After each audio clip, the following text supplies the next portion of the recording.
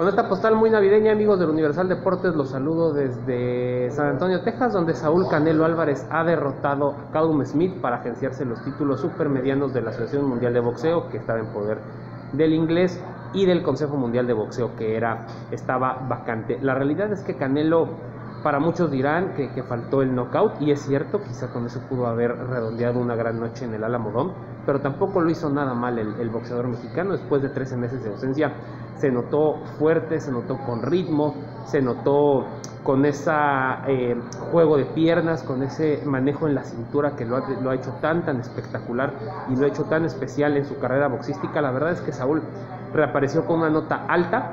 Insisto, nada más le faltó el knockout porque la realidad es que Callum Smith no supo competirle.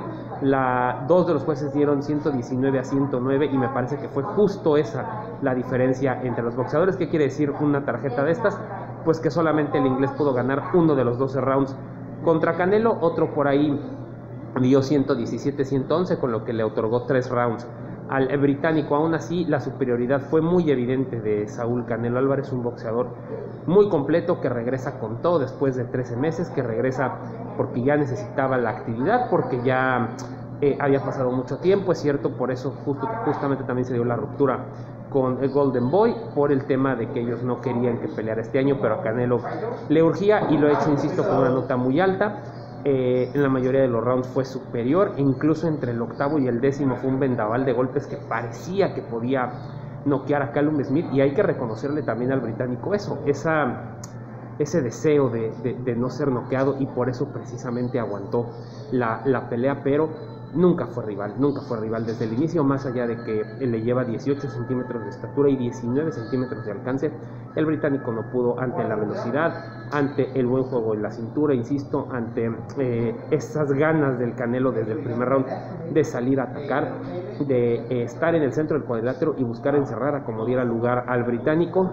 Y lo único que le faltó, reitero, fue el knockout, pero ha sido una gran victoria de Saúl el Canelo Álvarez, intentando varias combinaciones entre izquierda y derecha, también con algunos upper por ahí, tiró también algunos ganchos, la verdad es que mostró todo su repertorio el Canelo y lo hizo muy bien esta noche en el Alamodón. ¿Qué seguirá? Pues él ya lo, ya lo ha dicho, quiere unificar los eh, cinturones supermedianos le falta el de la Organización Mundial de Boxeo, le falta el de la Federación Internacional de Boxeo, por lo que Billy Jones Saunders podría ser su siguiente rival. Si les parece, vamos a escuchar lo que dijo Saúl Canelo Álvarez al término de su combate. Pues porque soy mejor. Because I'm better. Porque soy mejor y, y porque tengo muchas habilidades que hago que se la piensen a la hora de tirar. Eh, pues porque soy mejor que ellos. No, como lo he dicho, eh, yo tengo que adaptarme a todos los estilos. En esta ocasión me preparé para el estilo de Callum Smith. Eh, obviamente si se dan estas peleas me voy a preparar para ese estilo y la voy a hacer de la misma manera, ¿no? Eh, voy a pelear de diferente manera para, para salir ganador, como, como lo he venido haciendo.